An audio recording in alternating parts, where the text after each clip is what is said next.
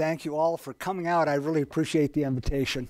It's kind of you, and it's been fun to to see some faces that I remember from a long, long time ago, and some that I haven't seen for quite some time. And it's just a pleasure to see you all.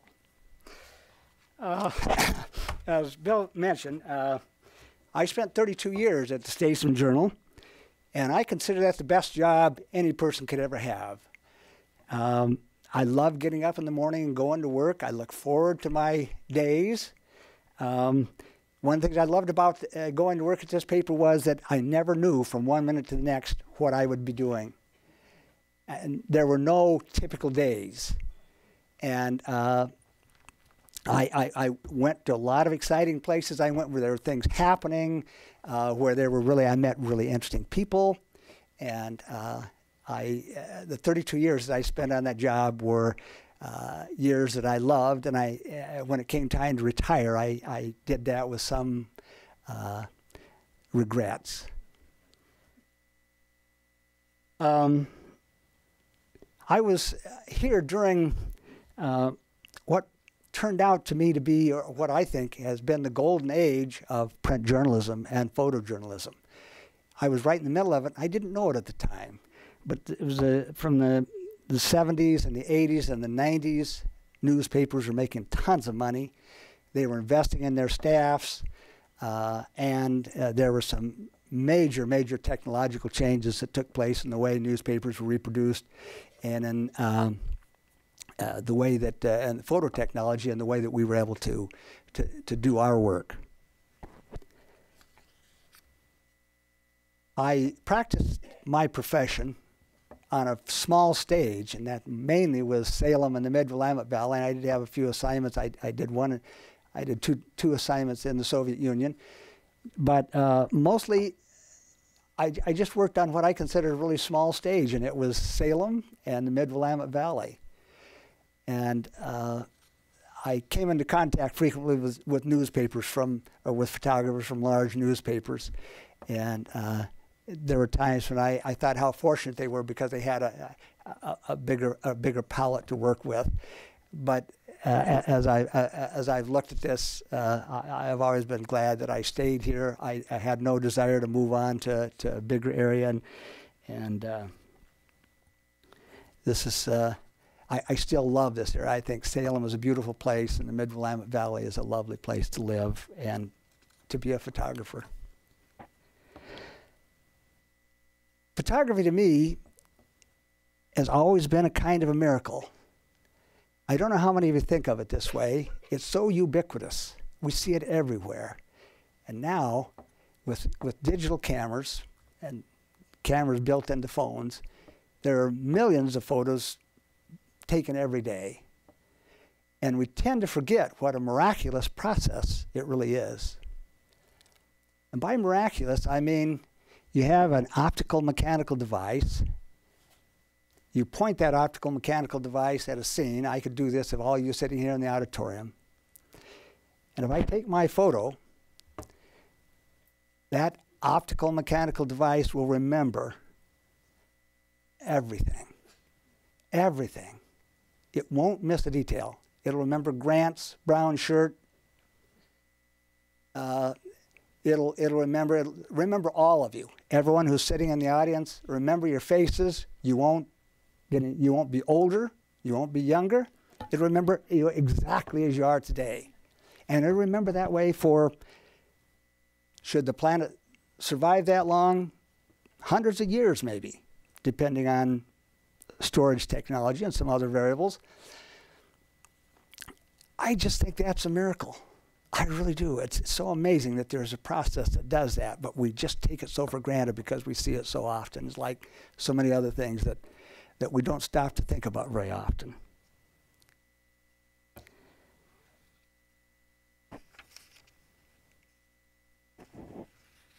I retired uh, in 2000, but before I walked out of the doors of the Statesman Journal, I witnessed some astonishing and uh, paradigm shifting changes in the technology of photography and in the future of print journalism. I moved to Salem in 1969 with my wife Penny and my first child. my wife Penny was a kindergarten teacher, and um, she taught in the Salem School District uh, for uh, several years before uh, I lost her to cancer in, in 2000. Um, I think she was the best kindergarten teacher in the district. We raised three children, remarkable children, of course, and you all know about my two amazing grandchildren, right? If not, if you'd check with me after I finish, I'd be glad to tell you. Shortly after I began my first job as a photographer, I began to realize that the underpinning technology which made it all possible was virtually unchanged since the Civil War. Even before I was swept up into photography, I had known about the photographer Mathew Brady. And Brady is one of my heroes. He's been called the father of American photojournalism. And as time has gone on, I've developed a much greater regard and respect for Brady. He died a pauper in a New Jersey charitable hospital. But his name and his place in history was already guaranteed by his vision and his belief in a technology which was in its infancy. Brady is so well known that my guess is that 60 to 70 percent of those of you in this audience have a Brady image on your person as we speak. And let me see now. We're going to try some technology here with the. Uh, so.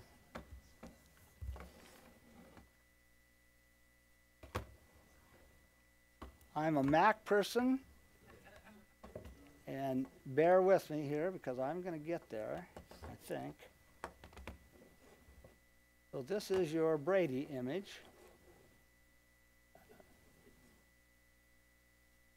Have I got this upside down? No, no, no, no. There we go.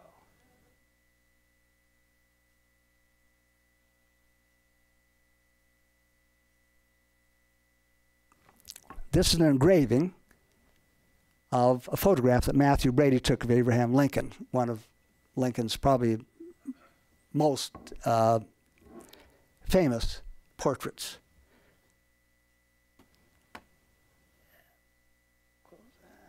So, if you look at, I, am sorry, I, I'm not technically able to get both those up on the same time, but if you look at this, you'll see this is exactly the same photo as on the $5 bill. How many of you have a $5 bill in your pocket? All right, I was right, 70%.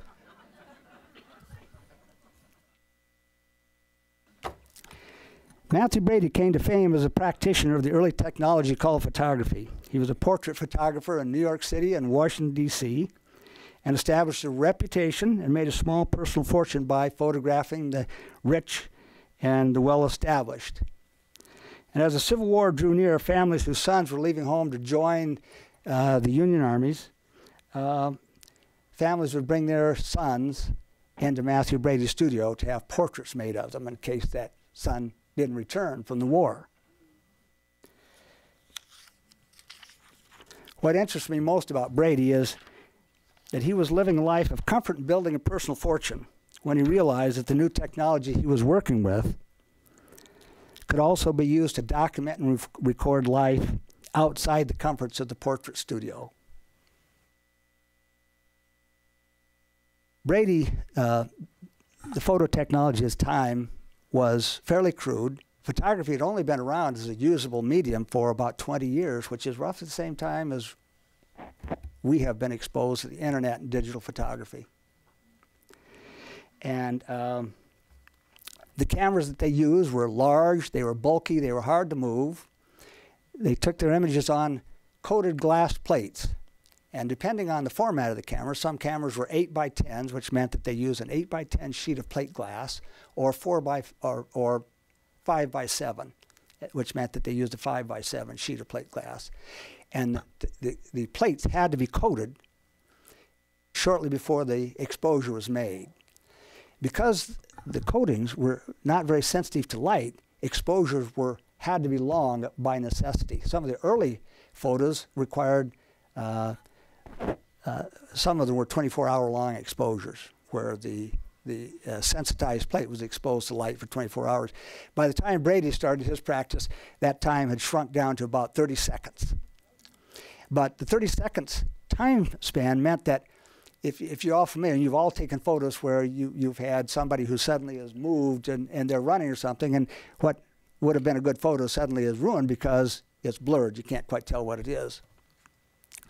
So the old portrait photographers and included the president of the United States had to do the same thing. You had a, a studio, you come to a studio and you sit in a chair, and they had a rod that came up behind the subject and it clamped at the back of the head.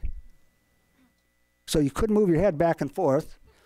And then he would he would say, uh, "Okay, Mr. President, I'm ready."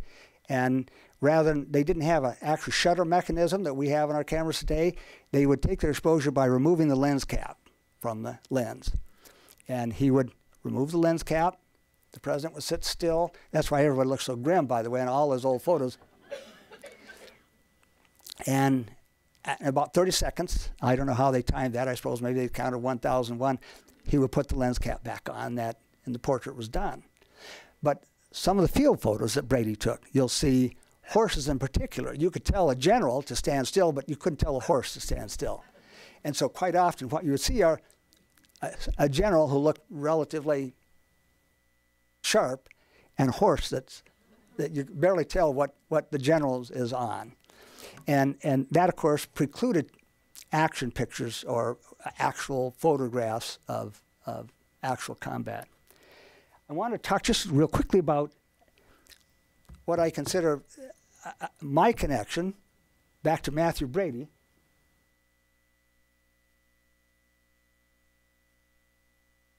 And that is this camera. That the first job that I had, I actually used one of these cameras. Uh, it's the old 4x5 speed graphic. And it was big and heavy and clumsy to use. It has a similarity to Brady's camera. Let me, let me see if I can get the image of Brady's camera up here on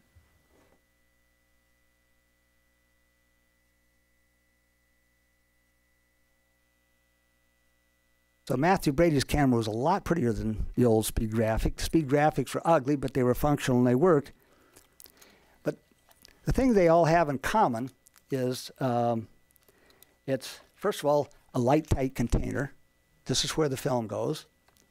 And it has a bellows. This moves in and out, a lens attached to bellows. And as the bellows moves back and forth, the image comes into focus.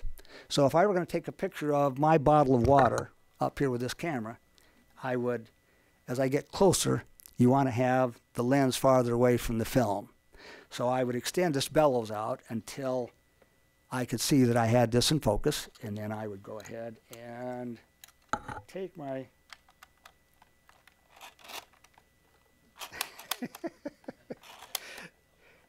my photo. I haven't done this, you can tell I haven't yet there. Um, but the bellows was used to focus. Brady's camera, um, actually, and, and this also has a place for, by, by the time this camera came along, they were using acetate film, and it was already sensitized. So you just put film in the back here, but uh, you'd open this up and drop a sheet of 4 by 5 film in there, and you could take one shot before you had to replace the, uh, the film. And Brady's was the same. The only problem is, is Brady had to do this all in total darkness, and uh, had a uh,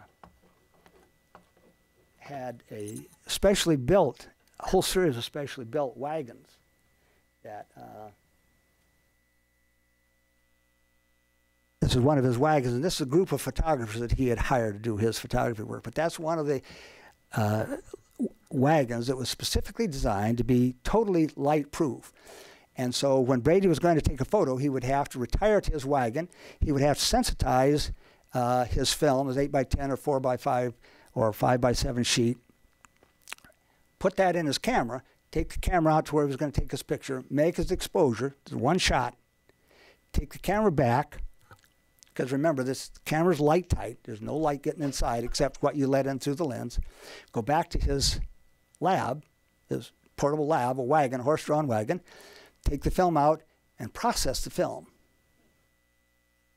The other connection I have with Brady is that his developing the process he used to develop his glass plates is pretty much the same process I used when I was developing 35 millimeter film at the Statesman Journal. So in the 1970s, I, I could have brought in Mathew Brady to my darkroom and had him be my photo assistant. And I could have taught him in half a day everything he would need to know to be up and running as a photographer at Statesman Journal. The same token, or go reverse, I'd have to learn how to drive a horse. But I could go back to Civil War and I could be one of Mathew Brady's assistants. I could be a lab assistant or a photographer for him, and I could learn what he did. I mean, I essentially knew exactly the process step one, step two, step three, step four. They were unchanged.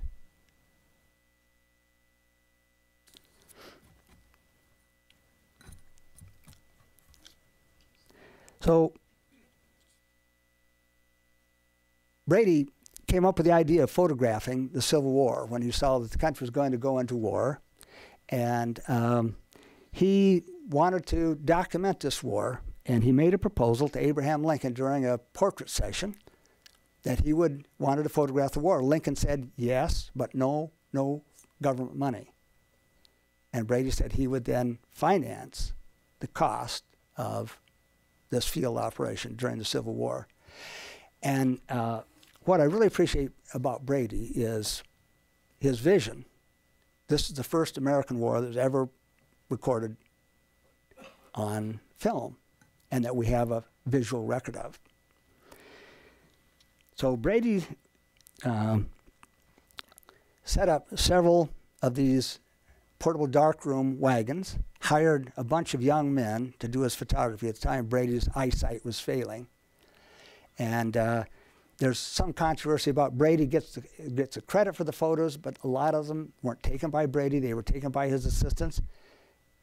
He was kind of the project manager, but I think he deserves the credit. All in all, Brady invested more than $100,000 of his own money in the project, which was a huge fortune at the time. I believe he hoped to recoup his costs from the sales of photos and never did. He, as I mentioned, he ultimately died in a, in a pauper's hospital. That's another story. Um, Brady's photographs were brutally honest. First time that American people had actually had a chance to see the ravages of war. Uh, This is one of his famous Civil War battlefield photos.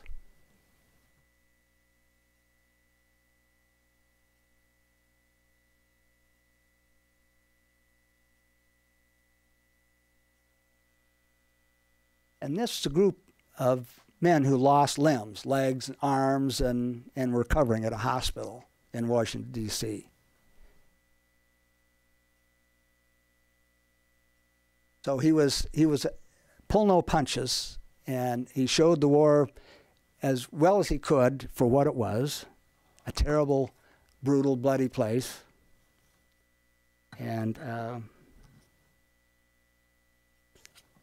those photos are now uh, in the Smithsonian, almost all of them.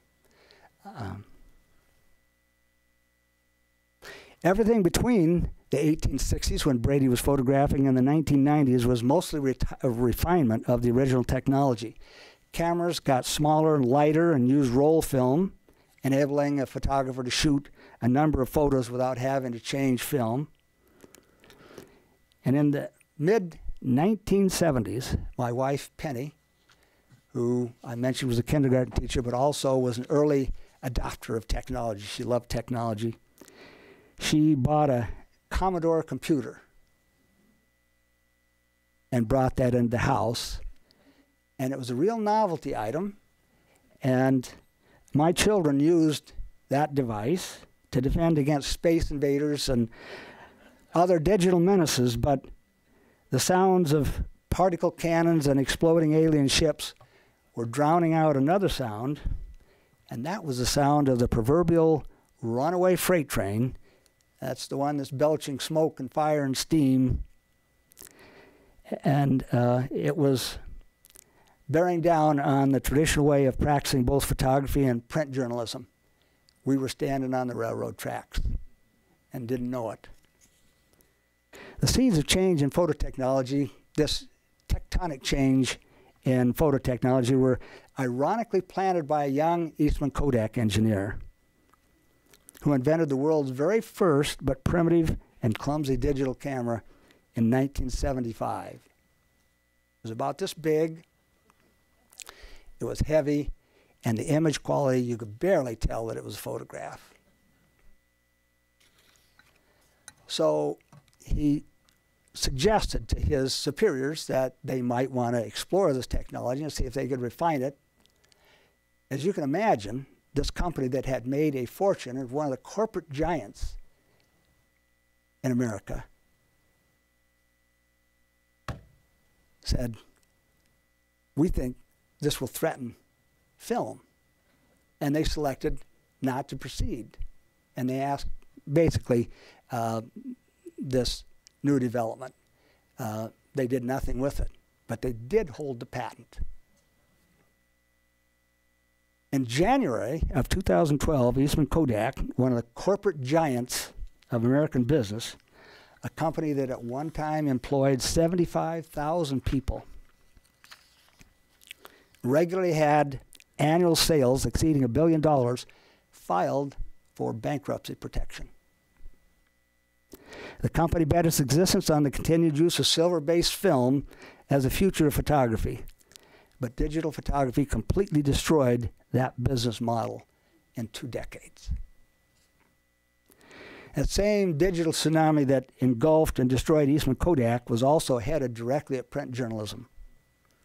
But before it hit, I would have to learn an entire new way of preparing photographs for publication and to discard the old skills I had spent so many years perfecting in the past.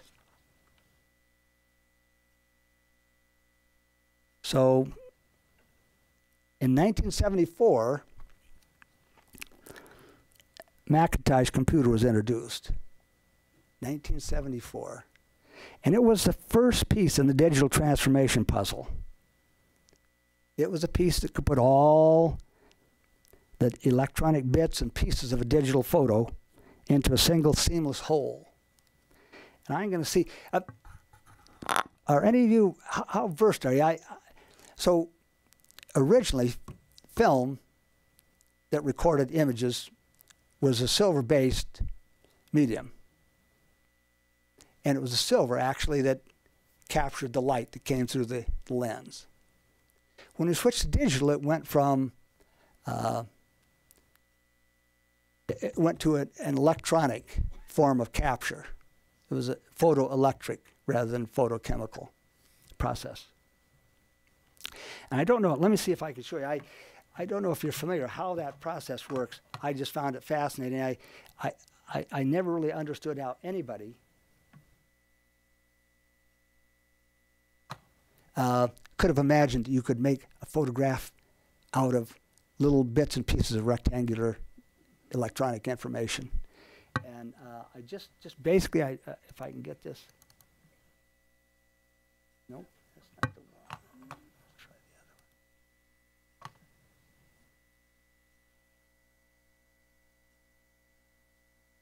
Uh, I don't know if that's. Well, what I try to do is just take uh, a, a, a, section out of a photograph, but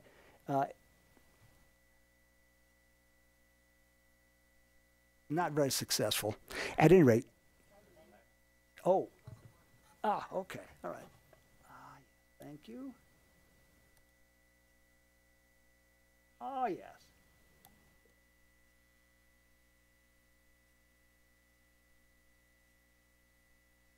At any rate, uh, the way I explain it, and what you're looking at there are pixels, and this is a pixelated image. And a digital photograph is composed of thousands and thousands of individual pixels, each one containing a small, tiny part of the image. the way I like to explain it is very similar to old Roman and Greek tile paintings, where you take a rectangular tile shape, and if you're going to paint an emperor on that, you'd start out and you'd one part of the tile would show maybe his eyebrow, and then the tile below that would show part of his eye, and the tile below that would show another part of his eye. And if you looked at each of those parts, they made no sense. But once they began then putting those tiles on a wall and put them together, all of a sudden you stood back and said, oh, yes, that's the emperor, or a picture of, or, or, or a country scene. And that's essentially the same way that, that digital photographs are, are put together. So it took a computer to be able to assemble all those parts and it's initially done, uh, the assembly now is initially done so when you, you, take a digital photo, your camera has a built-in processor, and that process processor begins to assemble that picture for you. And, uh, and then you can bring it into a computer. The computer completes that process, and then you can edit it. So I mentioned uh, the Macintosh computer. That was the first part of the puzzle. Um, the second part of the puzzle uh, came along in 1987 and that was when Photoshop was introduced. Photoshop was an electronic or digital editing application that allowed you to take a photograph uh, that had been uh, taken digitally, and you could change all those pixels. And what makes it so malleable is you can change any of those pixels in that photo. You can change a single pixel at a time if you want. You generally don't do that. But you can do that because you can just take it apart and put it back together. Um, it also allows a lot of mischief. Um, I was looking at uh, this. Uh, I have a, I have a picture up here that's, that's taken in Prague, Czechoslovakia. this big black and white picture here, and if I wanted, and I have another picture here with the Capitol building with the blossoms. If I wanted, uh, I could move, put this picture of this man walking across a bridge into this into the sky of this picture, or or worse yet, uh, he has a briefcase in his hand. I could put something else in his hand. Uh, name what you want if you have a photograph of the object you want to put in your hand, you can put it in his hand fairly easy in a digital application. And so everyone, photographers in, in particular, always looking for perfection. We want the perfect photo.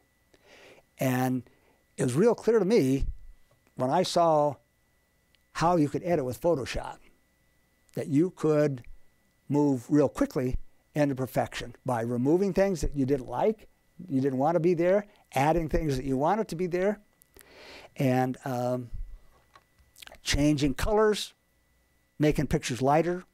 You could do all those things with a digital application. The problem was I was working for a newspaper, and the newspaper's biggest asset is not their printing press and not their personnel, it's their credibility. Real early on, when it became obvious what could be done with digital photograph, uh, we had the discussion with editors that we were not to add or subtract anything from any of the photos that we published in the newspaper under pain of we'd be discharged, we'd be fired. I always agreed with that. I always thought that was the right policy. And um, that stayed as far as I knew, I mean, that had not changed, and I'm sure that's still a policy today. That doesn't stop journalists from altering photographs to make them look the way they want. And to me, that's the slippery slope that has led to the situation we're in now with the accusations of false news. It's all about credibility. And that's a problem I can't solve, but I think it's, it's, it's a terribly important one, and I'm not sure how we're ever going to find an answer to that. We've gone down a road that is frightening to me. Um, I'm sorry.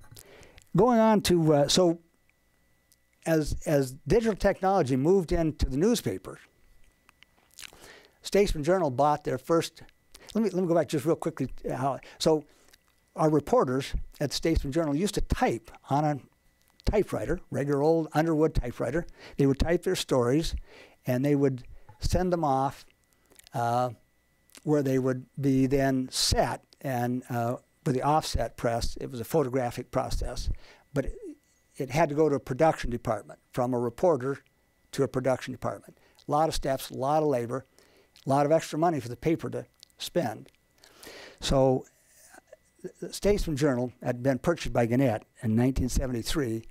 Gannett had some money. Gannett was flush. The newspaper industry was flush. The newspaper industry was making a ton of money. They bought the first computer processors for stories. So instead of sitting down at an old Underwood typewriter, they'd sit down at a computer console, they type the story. Instead of sending the story then down to production to have them retype the story and set it in type, the type, uh, the story automatically went into a phototype that could be, and, and in the story form, could be cut, uh, laid onto a piece of paper, photographed, put on the press, and printed. So we eliminated, lost, and, and quite a few production people lost that job. That was just kind of an automated part of their, uh, of, of uh, the process. And for photographers at that time, we were still shooting film, but we were edging towards the digital process. And what we did was we had a scanner that would convert analog negative, negative to a digital file. And then we would use our Photoshop application to go ahead and pre-press that, get that ready uh, to uh, to print. So that the great advantage of the digital camera was obvious. Uh, obvious to anyone, the contents of a digital camera were available instantly rather than having to go through this long process of developing a negative, drying the negatives, putting the light negatives on a light table. That was a, a slow, cumbersome process. The early digital cameras, though, that were available were unreliable, and the quality of the photos was very quality of the photos was very poor. And in 1994, remember this is in the 70s when Eastman Kodak, remember our friends Eastman Kodak came out or invented the first digital camera. In 1994, Eastman Kodak, the Nikon camera company, and the Associated Press collaborated on what was the, what would be the very first digital single lens reflex camera that produced a professionally acceptable image. And the price of that camera without a lens, just the body of the camera, was $17,950.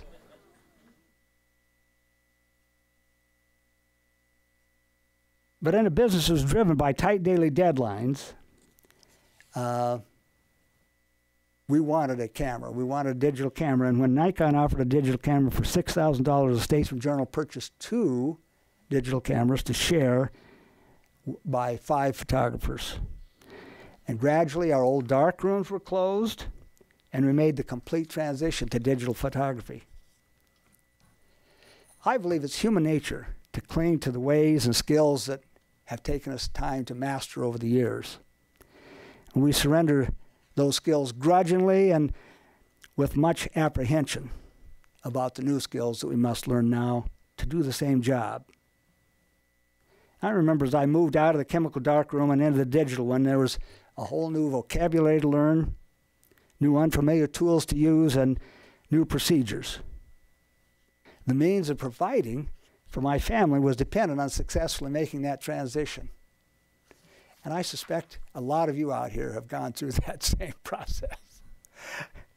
it was, it was a frightening one. Um, The challenge was simultaneously exciting and scary at the same time. There were times when I questioned my ability to understand a completely new way of doing my job. In retrospect, I had no idea of the ways in which this new technology would expand and improve, uh, in some startling ways, my ability to communicate with visual images. At the same time, the technology of photography was undergoing a tectonic shift changes were also being triggered in the newspaper industry. And I mentioned in the 60s and 70s and 80s and into the 90s, newspapers were, they, they used to joke about a printing press was actually a press for printing money. And newspaper was just kind of a side. And the Statesman Journal is no exception. And Gannett was making a ton of money. The future of print journalism looked bright. Most newspapers had an almost monopolistic control over the production and distribution of news, and advertisers had few options for their advertising dollars. But as computers became more effective at sharing information, the print journalism's uh, print journalism monopoly was gradually eroded, and revenue began a steady decline that continues to this day. In an effort to reduce production costs, newspapers began to reduce the size of their workforce, and I was offered a buyout in December of 2001, and I accepted. I walked out the door of the Statesman Journal for the last time with feelings of regret, envy, and doubt. Regret because I was leaving a job I truly loved and had mastered. Envy because my colleagues were going to enjoy the fruits of this new technology, which is a great way of telling stories. I used to I used to envy sometimes my friends in, the, in electronic media. When I was telling a story, I had to do it with a single photo, and I had to do it without sound. So I was missing some of the really important, some of the stories cried out for sound or motion. And I used to think they were so lucky to be able to tell their story with a thousand images that moved and had sound, and I had to tell mine with just one. And as I looked at the, the coming of the digital camera, it hadn't happened when I left, but gradually, the cameras, and of course you all have them now, the cameras, digital cameras, are able to shoot both stills, high quality stills, and high quality video. And I always thought, what a wonderful way all of a sudden to be able to do that. And, and I would be able to put that on a website so I'd be able to share those pictures electronically. It, it seemed like a really exciting prospect. And I mentioned the doubt because it was hard to imagine how I would replace the challenge and excitement and frequent adrenaline rush that came with the job that I was leaving. However, by the time of my retirement, I had mastered the hardware and software of digital photography. I had learned to shoot and edit digital video, and I began work on, the, on a documentary video uh, of the uh, restoration of the aging and beautiful Elsinore Theater in downtown Salem. Even though I was living on a retirement income, digital allowed me to shoot as much as I wanted without constantly worrying about the cost of film and developing. And I no longer had the frustration of dealing with editors and their arbitration, their, their arbitrary decision making about my photographs. Retirement was quickly becoming a lot more fun than I thought it was ever going to be. How are we doing for time? I know we're going to. Is this time?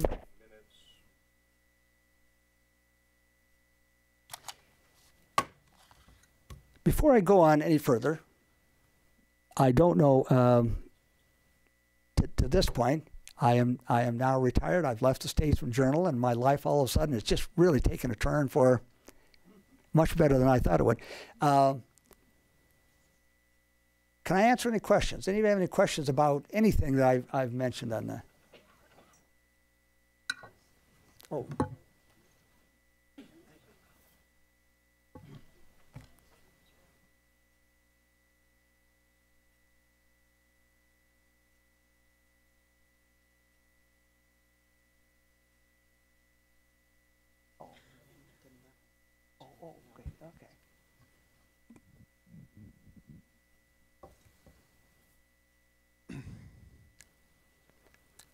This on?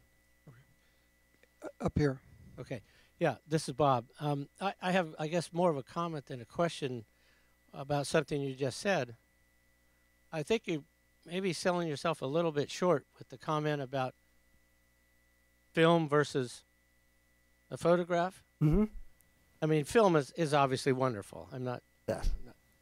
questioning that, but if you think about some of the single iconic images of, of a single photograph, I think they can produce perhaps a more profound effect um, because the viewer can, you know, focus on that one image. Um, like Mm, thank your, you. Yes. your photo there from, from Prague.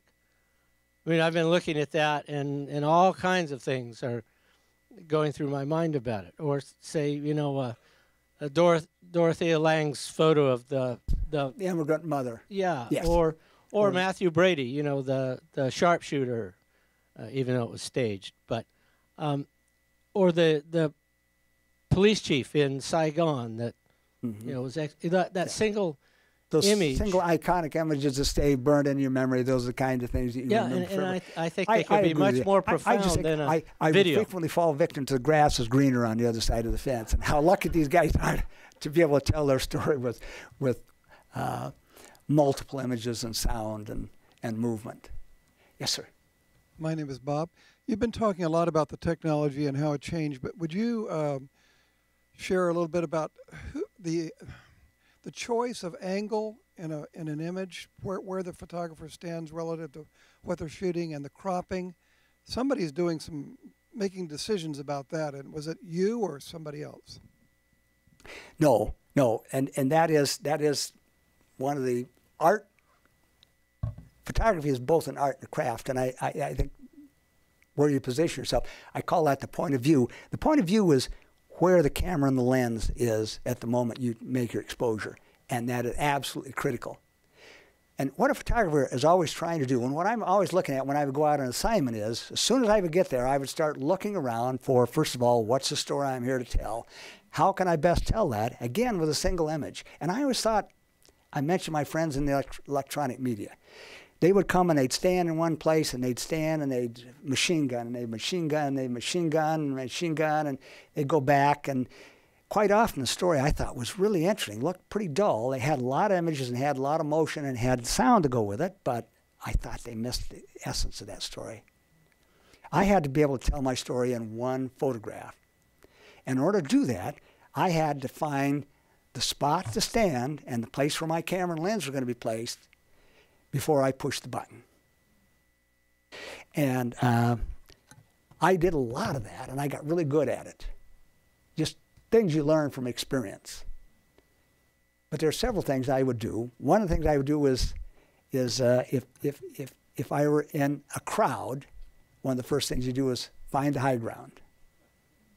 Because you want to see what's going on in the crowd. And I've done a lot of things, rallies, protests, and other things.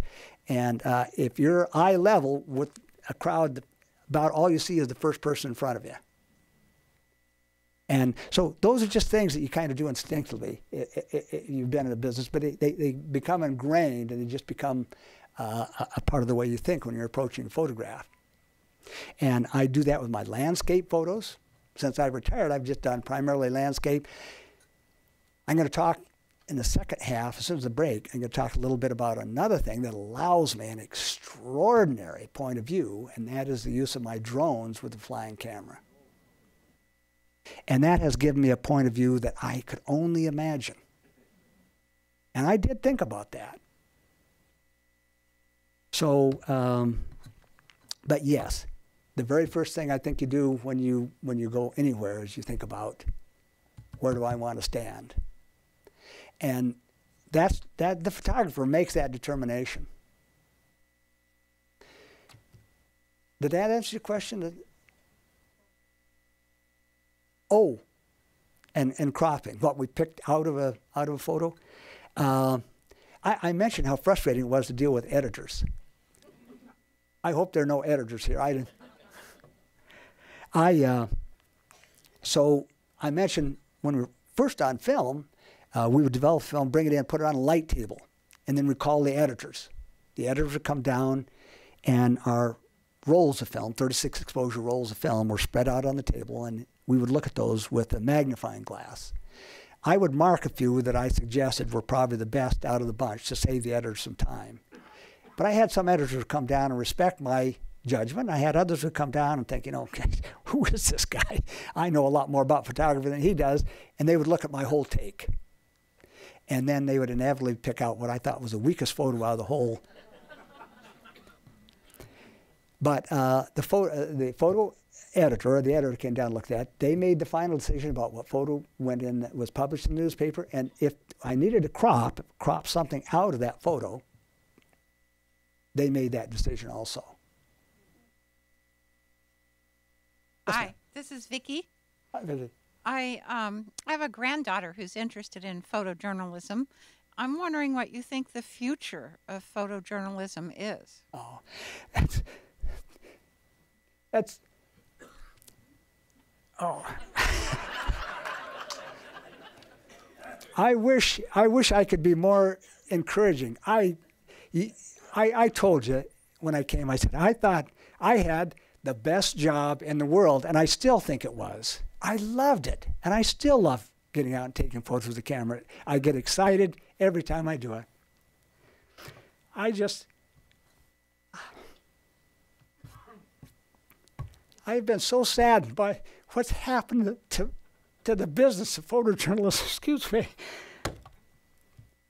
I, I think it's an important, important the whole the whole process, the print industry, print journalism industry, and photojournalism as well, are so important to the health of communities and I think to the to the health of this country. And to see them gutted the way they have been, I, I don't know. I, excuse me, I got to take a drink.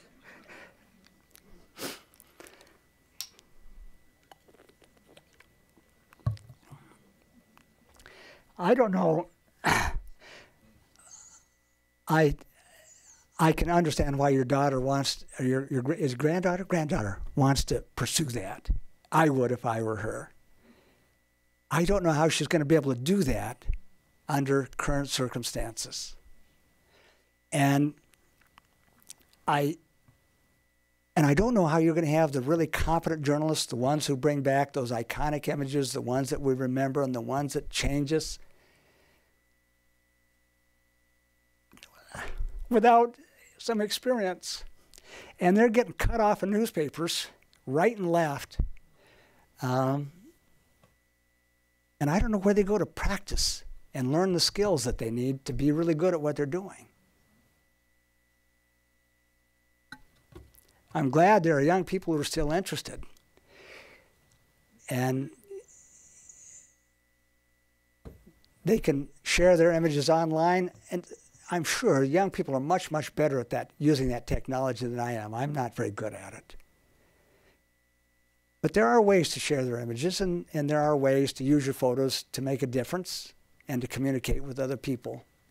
I just am not sure that the newspapers, and they used to be, they used to be the great entryway for the photojournalists who, like I say, made the iconic images.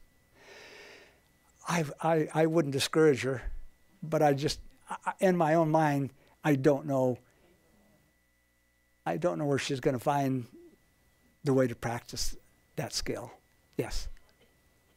Yeah. Oh, excuse me. Um, this is Becky, and I had a question. How was the decision made? You talked about this a little to pair a photograph with text. Oh, I'm sorry. Could you say that? How one do you decide what photo goes along with what text? How does the photo get ultimately combined with the story? Um, that is again is, is the decision of the editors, and my job as a photographer was to go out, be at the scene, uh, get my photos, get back by deadline. By the way, and and it's fascinating. One of the fascinating things about newspaper, and it really kept you on your toes, is our deadline was daily, every day. I came in the morning and I knew that I had a deadline. I had photos that I had to get to the news desk by a certain time of day. And, um, but uh, that was as far as it went. And I had editors, and like I say again, editors are the bane of my existence. Some of them I, I really liked and respected, but they drove me crazy some days. And they made the final decision about what newspapers or what pictures went with what stories.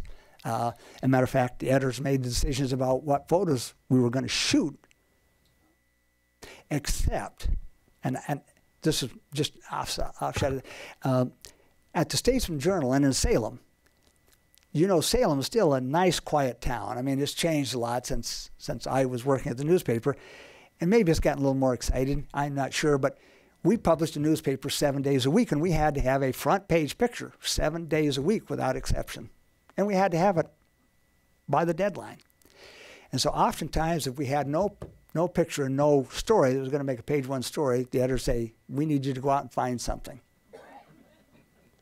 And I would grab the camera, grab my camera, get my car, and drive. First of all, I go to the parks and I start looking at the obvious places, and then just drive around looking here and there. Uh, looking for what we call an enterprise photo.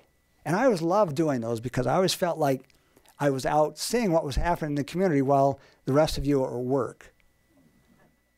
Earning money to pay for your subscriptions and, and pay my salary. But uh, I, I, let me just so one of my favorite pictures that turned out from Enterprise uh, assignment was uh, down uh, near the uh, Marion Street Bridge and by what is now Riverfront Park, you know, railroad track runs through there. And at one time, there still used to be a little small wooden, old wood frame railroad depot. And I was down walking around. I thought maybe I'll find something down here. And all of a sudden, out from underneath the railroad depot came a kitten. And I think from a litter of kittens. It's probably been born.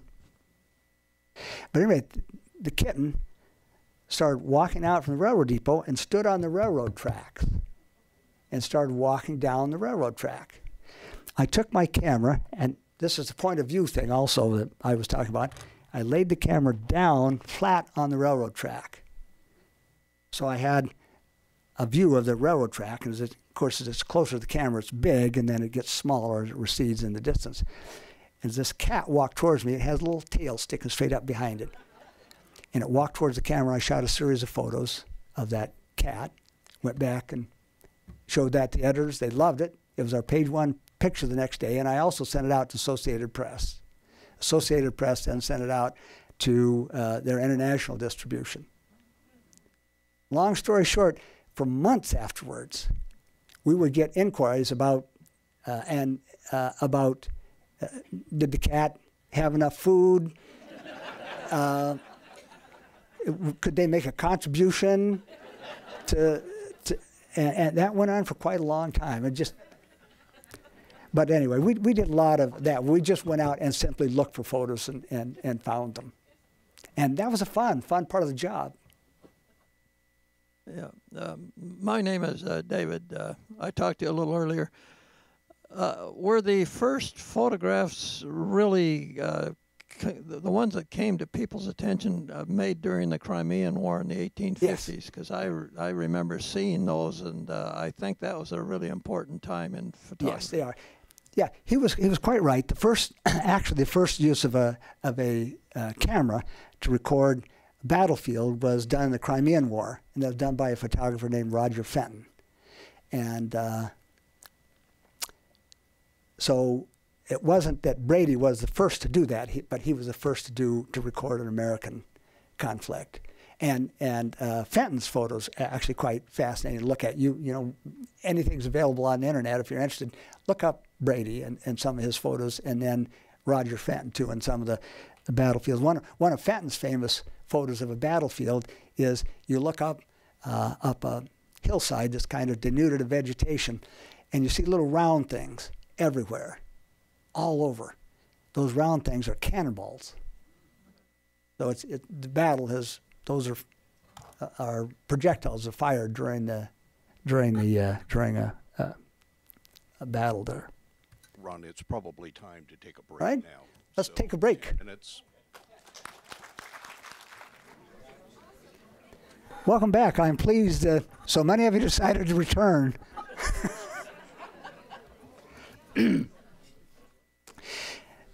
and let me apologize. I had not intended to get quite so emotional when I start talking about journalism and uh, and the future of the and I, I've forgotten your name, but you know, I, I, I paint a dismal picture of the of the future for young people in, in photojournalism, and, and it's probably not an accurate uh, representation of what the future might be like. I just I just thought that the newspaper is such a, a wonderful way to acquire the discipline and the, the and, and just learn a business. And um, and I don't I don't know how young people are going to get that. I think they'll maybe they'll get that on their own. There are a lot of and there there are so many more ways of sharing images than ever there were. I mean, when the newspaper was it. And I remember I used to go out sometimes. and I'd shoot three 36 exposure rolls, and I'd bring them back to the editor. I'd say, "Look, I've got this picture and this picture and this picture," and they'd say, "Great, we've got room for one." and now you know, online, you can, you can go to the Statesman Journal, and if they have an event, a parade, or a rally or something, you can go back and you can look at all the pictures that they've taken if you want, or at least several of them. So there are ways to do that. I guess I guess maybe they just have to be more determined than I was to make that happen. And then, you know, I, I, I don't know. I subscribe digitally to several national newspapers. And I, I do that because A, I want to be informed, B, I want to support those organizations. I want them to stay in existence and keep publishing the news because I think they're very important. Um, I mentioned somebody up here earlier that I said, and I'm not a prophet, I'm a really bad prophet, but every once in a while, I, have looked at the recent cuts the Statesman Journal made, including some people who have been there when I was working there, and I thought they were really confident, good people, and they've lost their jobs. I would be surprised, frankly, if the Statesman Journal exists as a printed publication in 2020. And I don't know, uh, I, I, think you'll be able to get that digitally. That's good. I subscribe to the, the newspaper digitally. I'm not, a lot of times, really too impressed with the quality of it, I'm sorry to say. Um, but at least you do get some local news. And if the, if the Statesman Journal were to go away, I don't know what you would replace that with. I don't know how you would have a narrative of who Salem is as a community. But I don't have those answers. Um, so uh, let's go on to a brighter subject. I'll, I'll stop weeping for the. One of the lovely things about the switch to new technology is uh, the ability to print images that I had taken. So when I worked in an analog darkroom, it was a chemical darkroom, worked with uh, the size of the prints that I could make, and by the way, I printed only black and white, were limited by the size of the trays and the sink that I had to work in. So more often than not, I made an 8 by 10 black and white print. But if I want to make a bigger print, I get an 11 by 14 tray, fill it with the proper solutions, and I can make an 11 by 14 print. That's about this size. If I really had something I wanted, I could do 16 by 20, sometimes 20 by 24, but then you're looking at trays this big, and it really takes a lot of time to set up, a lot of chemicals. And so 20 by 24 was roughly the biggest print that I could do, and I didn't do that very often. With, when digital came along and they began to make good digital printers, they printed instead of on a single sheet of paper, they printed off a roll of paper. And that meant that as big as I could make a, a photo or a, a file, I could ask them, let's make that six feet by four huge, gigantic photos. And I love being able to make my images that big. Um, some of my big, big photos are still in Salem Hospital, especially in the outpatient clinic. They were the really early ones. They had asked me if I would do some photos for that building. I, I, I mentioned my wife, Penny, uh, who died of cancer, had been treated at Salem Hospital. I said, I, she, I, I'm so appreciative of the care that she got there. I'd let me donate some photos to the hospital. And uh, they were thinking in terms of photo prints that would be uh, matted and framed. And when they began looking at the cost of matting and framing, the cost of matting and framing just about took up their whole budget. And I said, you know, I don't think we need to mat and frame these, but I said what we need to do is think in different terms instead of little 8 by 10 mat and frame picture on a wall that's 70 feet long and and 14 feet. They, they just get lost.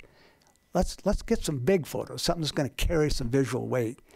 And we were able to do that with a printer here in town that I worked with, and and those are the first big photos that I printed. And uh, from there, I developed kind of a side interest in. I, I, did mostly landscape. I stopped shooting house fires and car wrecks, and uh, doing mostly landscapes that I could do at my leisure instead of having a deadline. I could go out in the morning before sunrise to a church out, an old wooden church out in Spring Valley. Wait till the sun comes up, take my picture, and I, I was not at the mercy of, of photo editors I was the person responsible for making all those decisions, and it was it was wonderful. So I I, I mentioned uh, I did a lot of landscape photos and began getting calls from people who wanted Salem area photos to decorate their businesses. So I now have them in doctors' offices, some dentist offices, um, some banks, and um, it, it, it's just been it, it's been a fun way for me to find a home for my photos. I take a lot of photos I see photos all the time. I saw photos when I was driving down here this morning.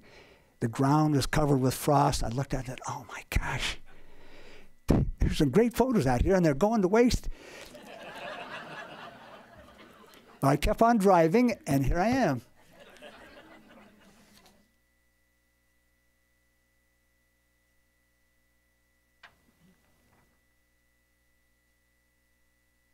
one of the most exciting new photo technologies, in my personal opinion, to come along in a long time has been the introduction of the photo drone.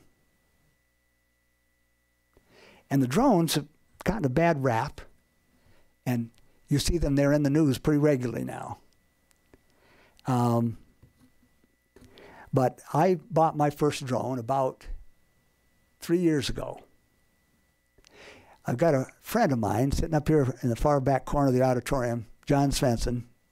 John was a little braver than I was.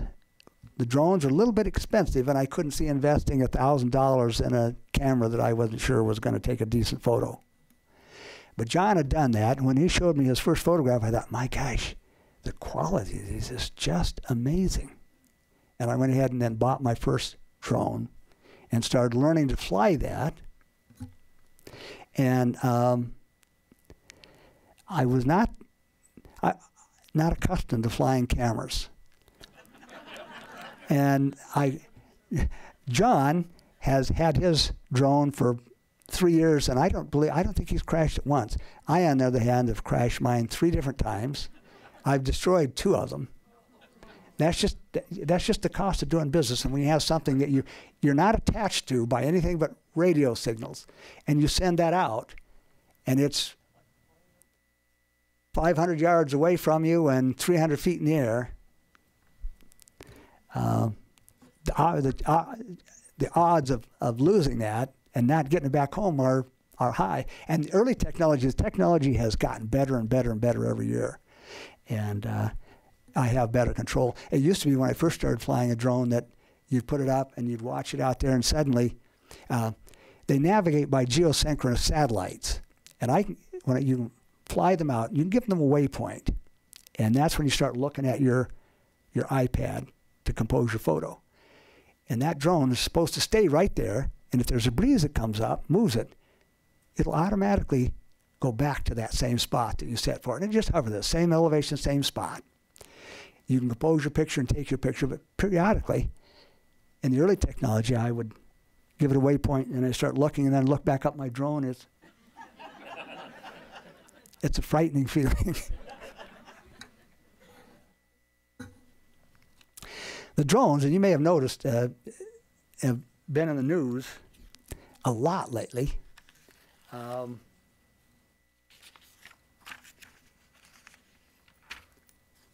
You probably read about the one that reported drone sighting at Gatwick. And what what is amazing about that is I, I spent my last three years, I, I find them to be the most amazing photographic tool. And most amazing piece of just technology. And I love my drone, and I try to. I, I, try to educate, and if, if I'm flying and somebody comes and wants to look at it, I'm always happy to have them take a look. But um, the drone, the Gatwick incident at Gatwick Airport, they said that they canceled a thousand flights during Christmas holidays. 14,000 travelers were affected, and EasyJet, a European air carrier, claims to have lost $19 million. So what's interesting about that episode with the with the drones is that they sent out huge numbers of policemen from London. They eventually brought in the British military to try to find who was flying the drone. They never did. There's no evidence. No one has any photos, which is unusual. No one has any damaged drones that crashed on the runway at Gatwick or they arrested two people mistakenly. and their, their names were splashed all over the, the, the, London tabloids as, as the people who had been flying the drone, and they were eventually determined that they were innocent. At any rate, uh, it's all a part of, of, of what I call technophobia. And uh, it, it, it ties in again nicely with um, a bit of photo history that I think you'll find interesting. And it's just the kind of way people react to new technology. In um, 18, I believe it was 1880s, late 1800s, George Eastman, you recognize that name, Eastman Kodak, developed a roll film camera. And I mentioned to you up, to, up that time, your photos were taken one at a time. He developed an, a, an emulsion that you could coat with a light sensitive material, put into a roll, and that would allow people then to take multiple photos. And he also developed a camera that was much smaller than the big studio stationary cameras. And people began buying that. And what that allowed them to do was then to take that camera, go outside, and take pictures outside. And you could do that before with the big old studio cameras, but like say one at a time. It was so this kind of opened up new uh, possibilities for people who didn't have the big studio cameras. And what you would do is you would buy that camera from George Eastman. You would take, I think, maybe 10 or 15 photos on it. You'd send the camera back to the company. They would take the film out, develop the film, make prints, put a new roll of film in, and send the camera back. And he picked the name Kodak the name Kodak doesn't mean anything. It's it's a random selection. He liked the letters K, and he thought Kodak would be a word that'd be easy to pronounce and people wouldn't forget it. And so this camera was called a Kodak. But suddenly there are people appearing on the streets of New York City and Philadelphia and a lot of the major eastern cities with these cameras taking pictures of people in the streets and just random pictures of whoever they thought were interested or, or what scenes they thought were interesting. And so people's imagination began working, as people's imaginations will. And pretty soon there were signs would appear on beaches. Big signs that would say Kodaks, not allowed on this beach. It, people were imagining that uh, you'd have these perverts with these devices that would take pictures of people in swimming suits. And uh, so people are real quick to, to step right up and, and make sure that our morals are, are well protected. And, and uh, then there were newspapers that actually editorialized about how dangerous and who know who, who knew what might happen when more and more people got cameras and more and more people started taking photographs. And the same kind of techno paranoia, I think, is, is afflicting uh, drones to this day. Um, they're, like I say, they're remarkable uh, in their technology and remarkable what they can do. Uh, there have been some drones that have flown several thousand feet, which is a violation of FAA rules. The Federal Aviation Administration controls the airspace over the United States, and they determine who can fly there and how you can fly there. So for drones, they have regulations for drones, and the basic regulations are one, you can't fly above 400 feet, and you're not to fly over crowds of people. You're not to fly beyond what they call visual line of sight. In other words, when I'm flying my drone, I have to be able to see it. And I, I can't get it so far away that I can't see it. People do that all the time, but it is a violation of FAA rules. There's sensible rules. The other is you can't fly within a mile of, depending on certain airports. There's a five mile exclusion around big airports. So 500, 400 feet, uh, five mile exclusion. Uh, if and the software has been developed so well that if I'm flying, I, I went down. I'm going to show you some of this picture a little bit. I went down with my friend John uh, Tuesday after we had the snow, and I thought, you know, there ought to be some really nice photos for a drone. We did a couple of things. Went down eventually down to Deepwood, and we got down to Deepwood. Deepwood is fairly close, actually, as a crow flies, to Salem Airport. I have software, and when I went to launch my drone, I got a warning. It said, You are close to an airport. Uh, and it also warned me that uh, my flight controls might be affected.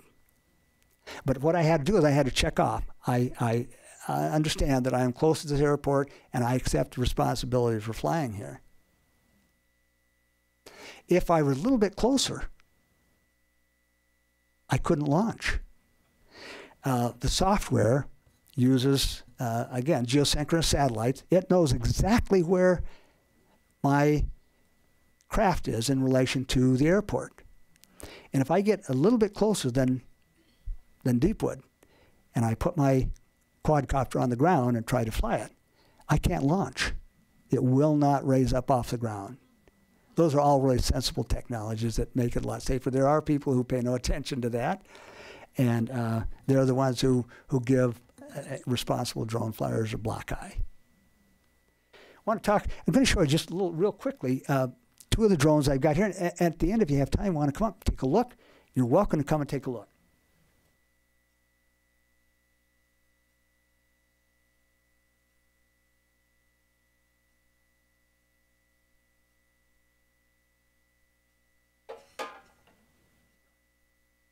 So I brought two today. This is the first one that I bought.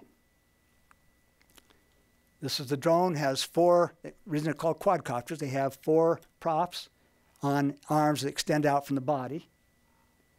This is the camera. It's on a gimbal.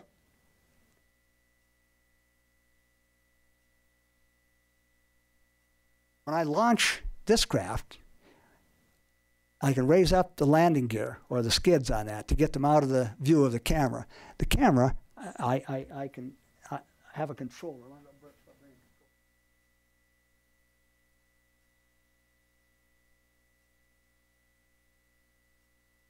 This is the controller I use. Has joysticks in it like a computer game. And has a pad, or you do this on iPhone. I use mine with a pad.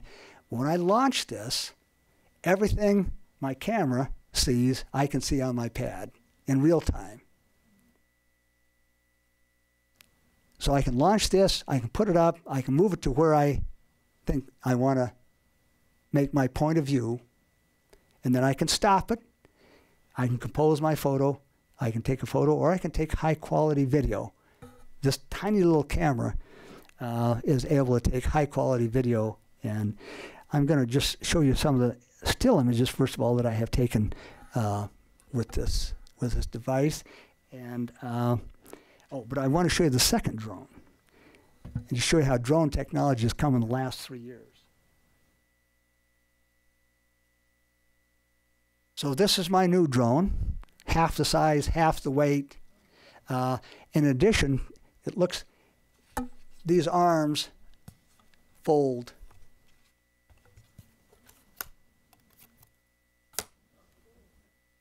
So I could, it's very compact when you fold it down, easy to carry. I actually took this on a plane to Sedona, Arizona, and took some pictures down in Sedona one time. Well, what's interesting about the new technology is it gets better is that these two little things here look like bug eyes in the front. They're sensors. And there are two in the front, two on the side, two on the bottom, and one at the back. Photographers get distracted easily. And the thing I love about the new technology is, uh, matter of fact, that's the way I lost one of these big drones, the big white ones. I say lost it, I ran it into a tree. But um, the smaller drone with the sensors, if I get distracted and that drone is flying at Grant here in the front row, it will reach about six feet and the sensors will, first of all, set off an alarm on my pad, a visual alarm and a flashing light. And then, real soon afterwards, it will stop automatically without any input from me. So that prevents it from flying into a person or into a tree or into a building or whatever else might be in the way. It's uh, again, it, it's uh, you know the technology gets better, they get safer to fly, and uh, the control technology is better. I've never had a flyaway or any kind of an issue of control with this new little small drone that I have. Um, is it possible to dim the lights just a little bit? I'm going to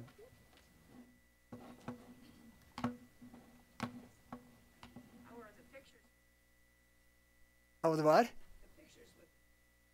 I'm going to show you some pictures with the drone. They are remarkable. I think.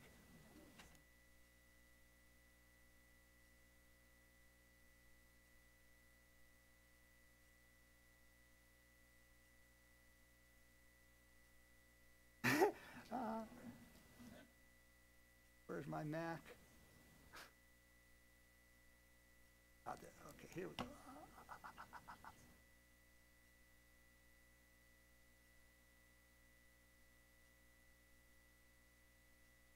I got, I got, I know, I see what I'm doing. Okay, I've got this upside down.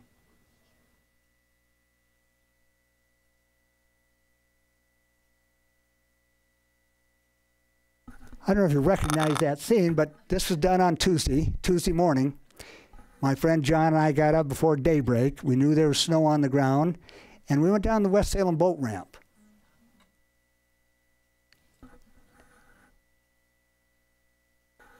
It, it it's just extraordinary. And but it, again, it gives you a point of view, a way of looking at a place. I've lived here now since, like, say, 1969. Some of you probably lived here a lot longer than I have. But it just gives you a brand new way of looking at this place where you've lived all this time. It's just a remarkable point of view.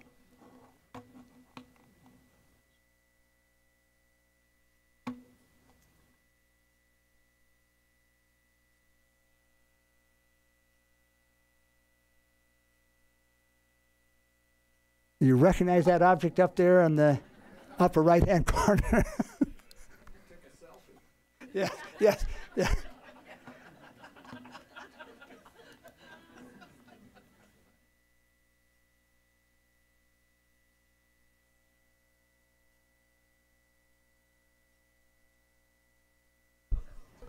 So I got my first drone about the same time they began construction on the Minto Island Peter Courtney Bridge. And I am a little obsessive compulsive, and I, I thought, you know, I don't do this for the newspaper anymore, but somehow this is this is going to be an iconic part of Salem. And I'd like to get some photos of it as it's being constructed. I'm going to show you one of those here in a little bit. But uh, how am I going to do that? The construction site was dangerous, I'm not official anymore. I'm just a retired old guy with a camera. And um, how can I get my photos of the bridge construction? And it occurred to me that one of the best things to use for that would be a drone. I could stand in the park, I could stand in a place in the park where I'm quite safe, fly it out over the construction site, take my photos of the construction, and bring my drone back, land it, and I've got the photos. And so I've photograph that, I have construction photos from the bridge from the time before it first got started all the way to the end. But it also is a wonderful platform for taking a picture of this, uh, this setting. I think Riverfront Park is a wonder, and uh, the bridge is beautiful. That globe is, is remarkable. And again, uh, a photography always looking for a point of view. How can I include all these things the river, the globe, the bridge in one single photo? And the drone is the answer to that question.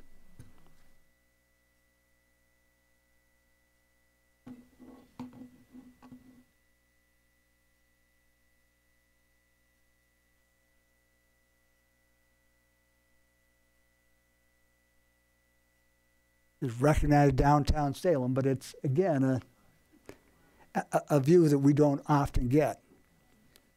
I uh, during my career at Statesman Journal, I did a lot of aerial uh, aerial photos, and I've taken photos from just about everything that flies. I've done light airplanes, uh, I've flown in helicopters, military helicopters, blimps, hot air balloons, and uh, this is this is by far the best aerial platform photography that that I know of.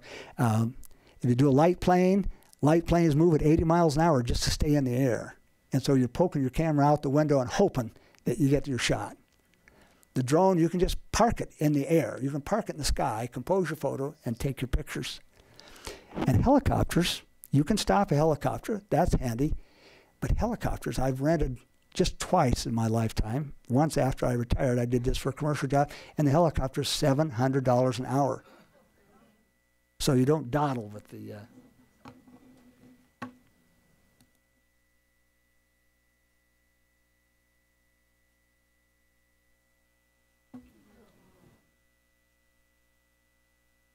That's just another view, just a different, just by placing the drone in a different spot in the sky, and then composing picture, and at a different time of year. That was in the fall, so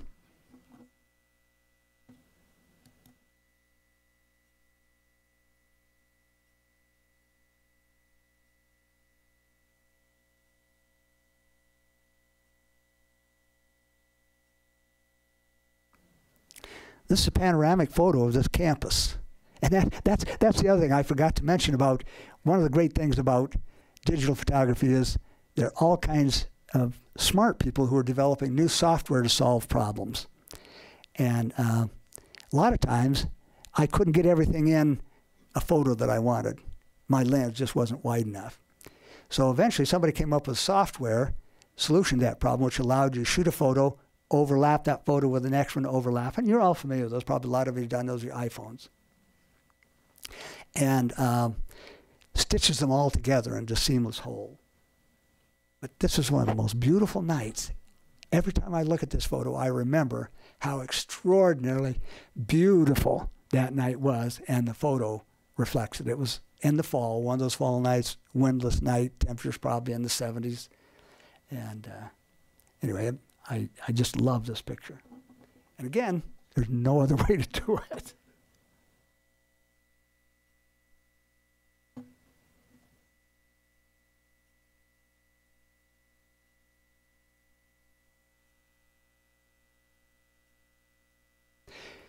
I mentioned to you, I'm always looking for photos in my mind, my mind's always working. I saw, I told you when I drove across the bridge from West Salem today, I thought there are a lot of good pictures out there, and if I just stop for a few minutes, I could be late to my presentation.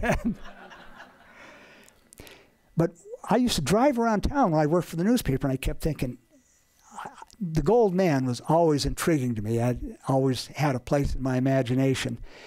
And I always thought I'd love to be able to get up there and see Salem from his point of view, what he sees from his elevation. Or I'd love to be able to get up and get a picture of him. He's an icon of Salem with another icon, which is Waller Hall on the Willamette campus. But of course, there was no way to do that until the drone came along. And uh, you can't do this anymore. The, the uh, Capitol building now is off limits. And I knew that was going to happen, but um, we got up early and, and I've got my photos and and uh, that's history. real quickly, I want to show you. Um,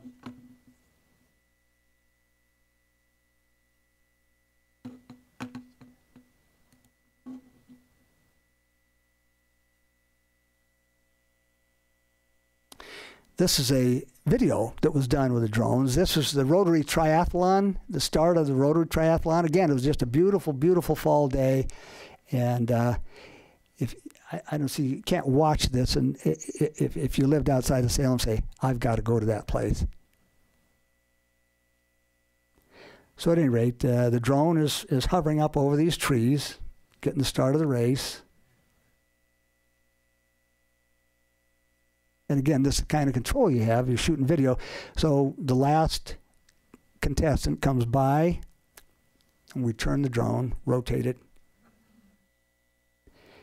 And then we've got a tree in front of us that's starting to shut out our view of the runners. You just take it up until you can see the runners, and then all of a sudden you can see that Willamette Slough back there that's like a mirror. But the runners are now passed us by, except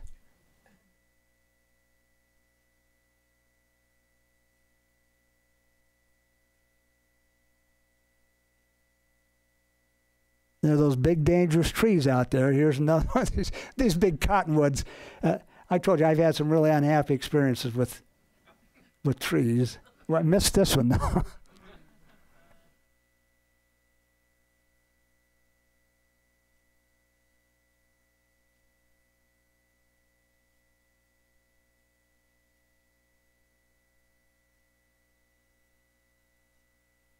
But you can continue to track a group moving like this.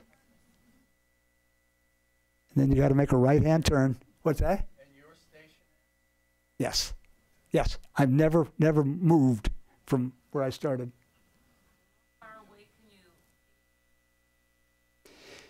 As far as you have radio transmission, I have seen people who've flown drones. Again, this is a violation of FAA regulations, but I have seen people who have flown drones from two and a half miles away. You get that information, by the way, on your remote control. My remote control on my pad tells me how far away the drone is from the camera. It'll tell me you're 2,000 feet and you're 300 feet elevation. And it also tells me how much battery I have left.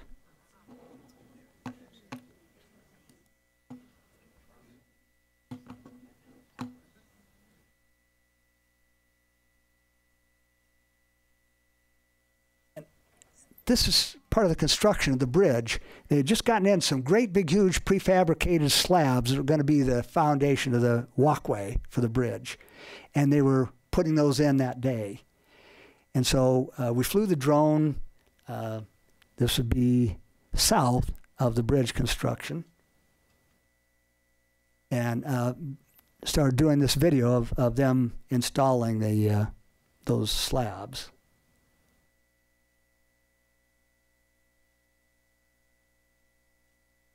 Oh, I love being able to see my images this big.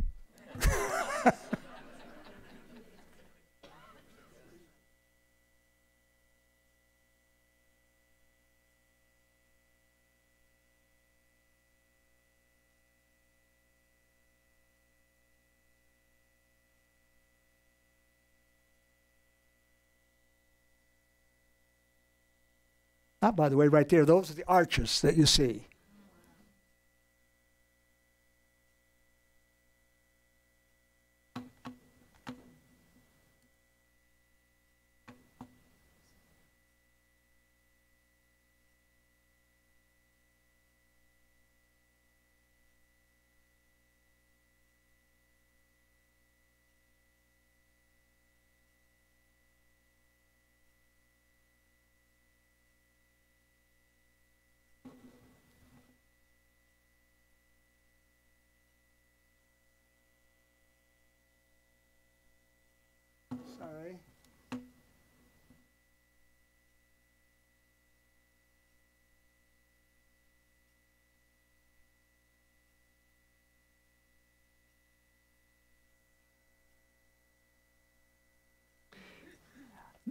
This this blossom uh, explosion every spring just I can't resist it, and and to be able to again, this was done before uh, you you couldn't fly over the Capitol building, but. Uh,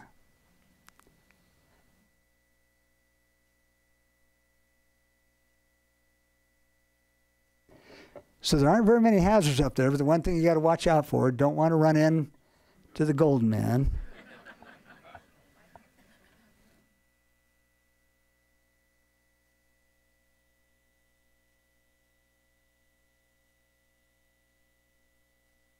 And then you notice I, I move the camera up a little bit. You can do that.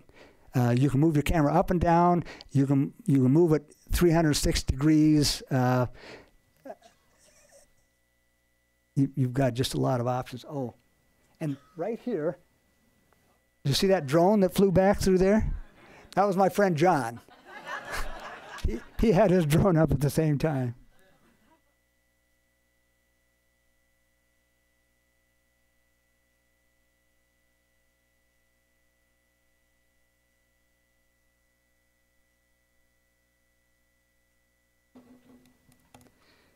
All right.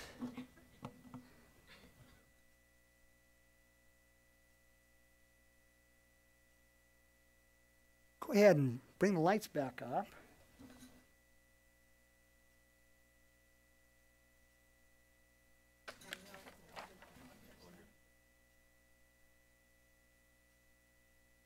I'm just going to talk one other thing about technology and photography. And I probably couldn't tell you in strong enough terms how skeptical I was when I first heard that someone was going to put a phone or a camera on a phone.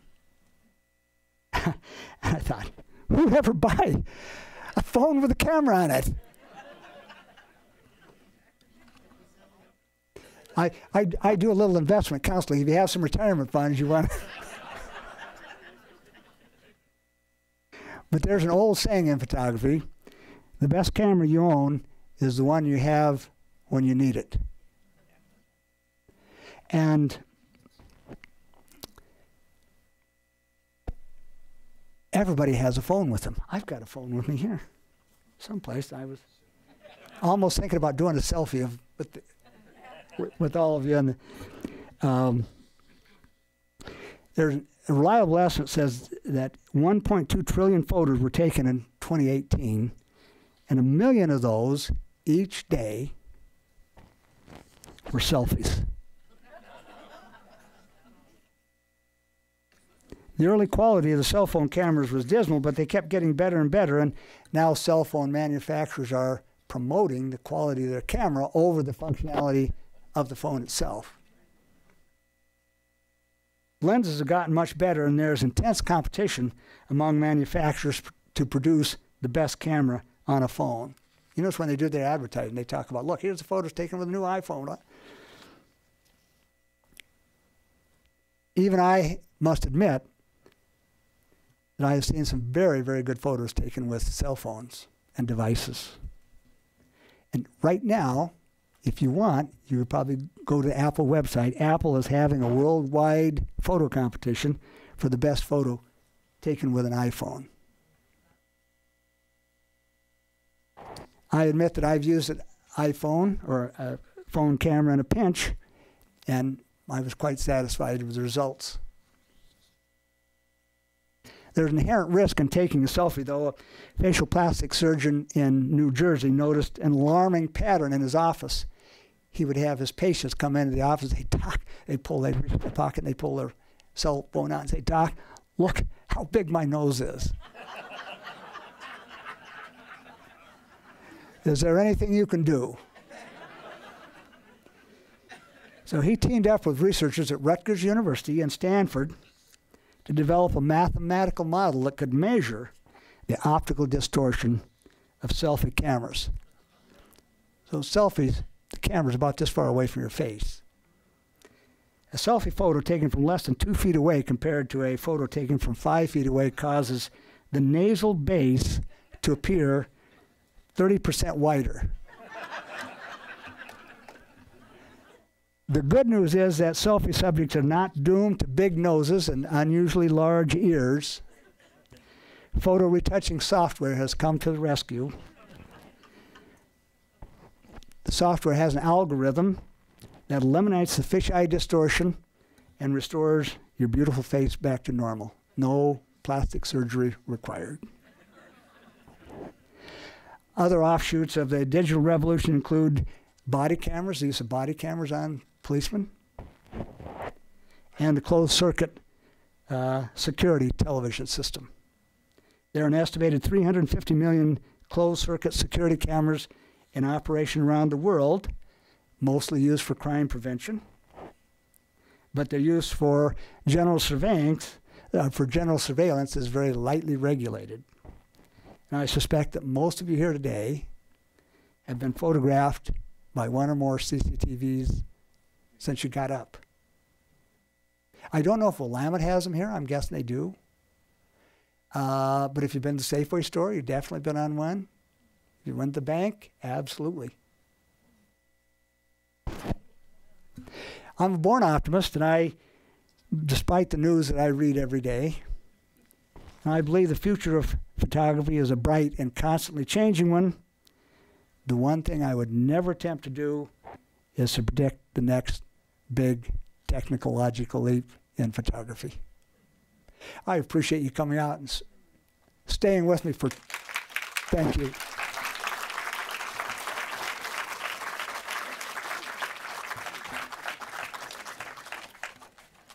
Questions?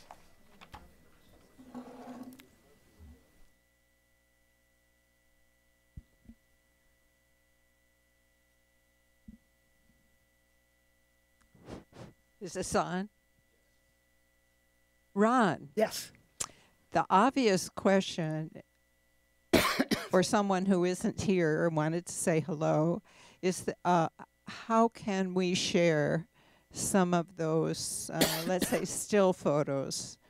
Uh, so amazing. Is there a way, or are they hidden away? That's that's a lovely question, and there should be a way but I, I don't uh, I don't post them. I have a website that's 10 years old. I've not changed it in 10 years.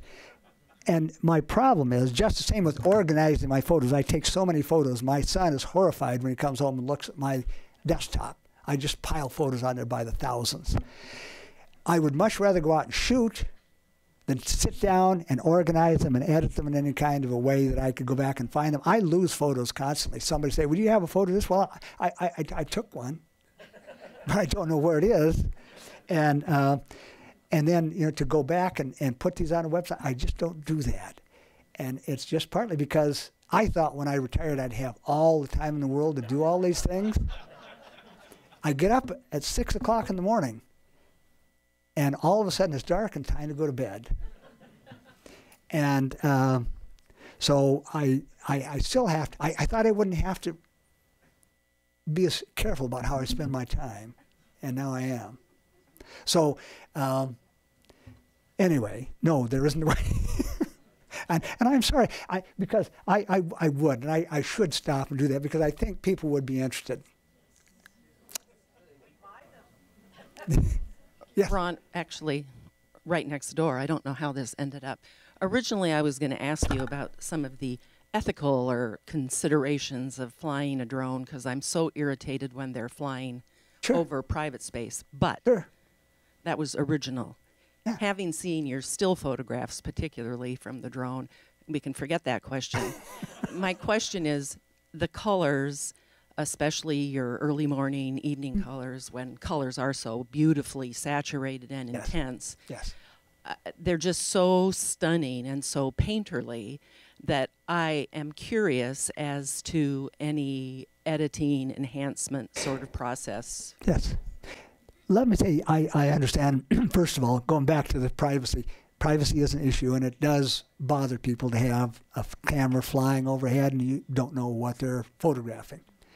Um, as a general rule, when I get a, my drone up to altitude, if I were to take a picture of somebody you knew well on the ground, you wouldn't recognize them. That's that's the good part of it. Uh, that's going to change too as photo technology improves. They'll have telephoto lenses, zoom lenses, and things that. so, again, you know, you. It, it depends on who's flying the craft and what kind of ethical decisions they're going to make about how they're going to use it. And about the colors, I edit my photography heavily. I mentioned I couldn't do a lot of that when I worked at the paper. I couldn't add things or subtract things.